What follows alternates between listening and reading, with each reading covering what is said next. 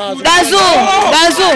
Nazungumzaje timu tunataka kuhusisha timu tukijue kitu gani? Mzizi wa fitina uko wapi? Ndio tunachokitaka. Mmemkimbiza Rando, bado timu inafanya vibaya. Na mumlinde hivyo hivyo. Mungempaisha kabisa. Na huyo meneja meneja wa uwanja ni mamruki huyo.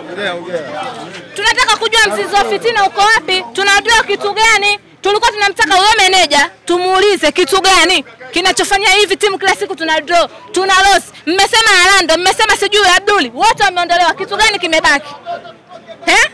Kitu gani kimebaki kwenye mzizi sisi? Tunaumia, tunaacha huko ndoa zetu, tunashindwa kuolewa sisi kisa Azamu.